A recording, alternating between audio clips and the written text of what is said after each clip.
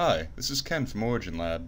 In this video, we'll be learning about Origin 2016's new cloning capabilities for importing multiple datasets.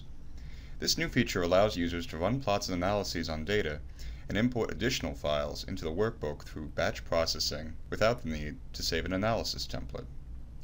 To demonstrate, let's first import data file f1.dat. Make sure you've checked the Show Options box and in the ASCII import dialog, specify the column designations so the file will be imported as X, Y, and Y error columns. Before you finish importing this data, make sure you have the correct long name and units.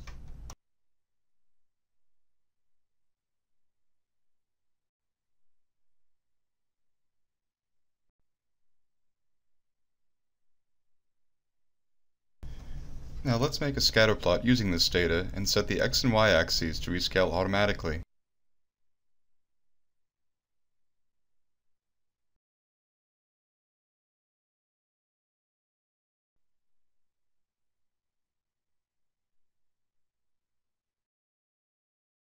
Next, run a nonlinear curve fit using the logistic function.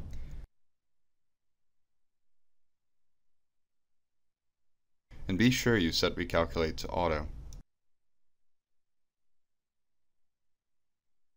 Now let's add this window as a floating graph in the datasheet so our analysis is included in the workbook. If we want to process more data this way, make sure the first datasheet is active and then click the Import Multiple ASCII button. Select files F2 and F3. Make sure that the dialog theme is set to Sheet this way, the import settings will be the same as those previously used. Let's set the import mode to Start New Books. You'll notice in the template name drop-down list that there is an entry called Clone. Select this option to duplicate your current workbook format for your new data, and click OK. Each data file will be imported to a new workbook and have the same nonlinear curve fit applied, while the floating graph will be updated with new fitting results.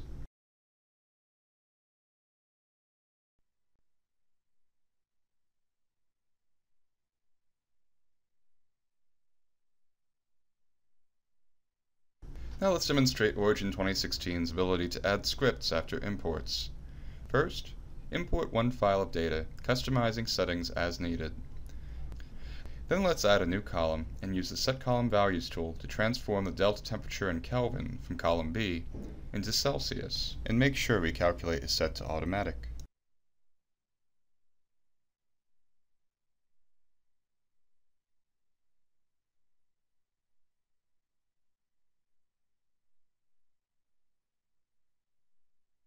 Next, let's use a script to plot some of this data. To do this, we're going to paste this in the script window and press enter. We can see it creates a graph with a user-defined template to compare delta temperatures in Kelvin and Celsius.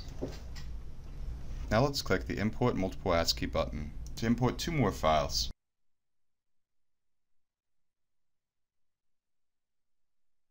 This time, set import mode to Start New Sheet and choose Clone as the template name. Let's paste the script that creates our graph windows in the script after each file imported box. After running our import, we can see two more sheets are added in the same workbook with the same data transformation, and that two more graph windows were created.